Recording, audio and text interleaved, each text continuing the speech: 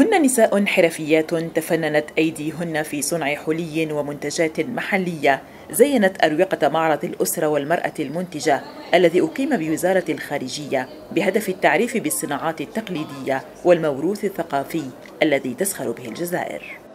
إن ترقية إبداعات المرأة لم يقتصر على المستوى الوطني فحسب وإنما ماضون في التعريف بمؤهلاتها على المستوى الدولي من خلال تنظيم فعاليات كالتي تجمعنا اليوم وكذا برامج التعاون مع مختلف المنظمات الأممية إلى جانب التبادلات الثنائية والمتعددة الأطراف مع الدول الشقيقة والصديقة. تمكين المرأة أصبح جزء أساسي في برامج الأمم المتحدة ووكالتها المتخصصة في مختلف مجالات التنمية.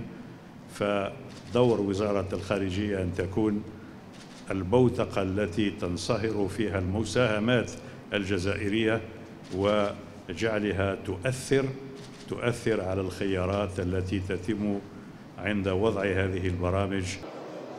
ورغم مختلف التسهيلات وبرامج الدعم التي تقدمها الدولة لتشجيع الحرفيات لا تزال بعض العراقيل تعترض طريقهن.